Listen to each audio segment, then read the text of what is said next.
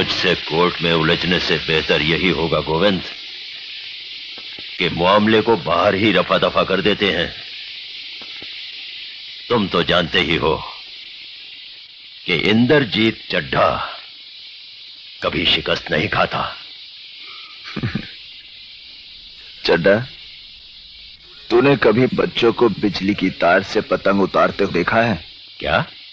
कुछ तारे ऐसी होती हैं जिसमें से उलझी हुई पतंग बच्चे भी उतार लाते हैं।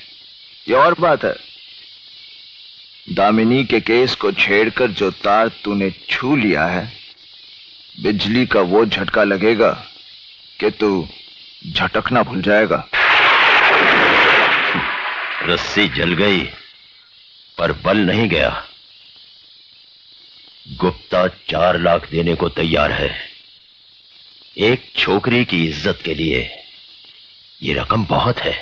बहुत तरक्की कर ली चड्डा कानून की दलाली से इज़्ज़त की नीलामी तक आ गए।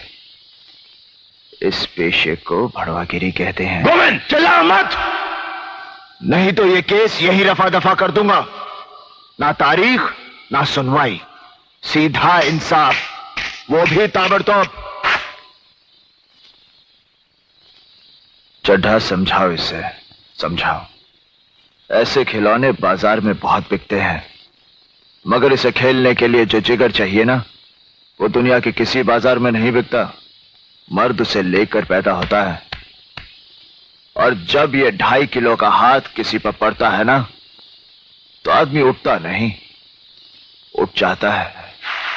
इस सब का जवाब कल अदालत में दूँगा। और हाँ अगर अदालत में तूने कोई बदतमीजी की तो वही मारूँगा। जज ऑर्डर ऑर्डर करता रहेगा और तू पिटता रहेगा।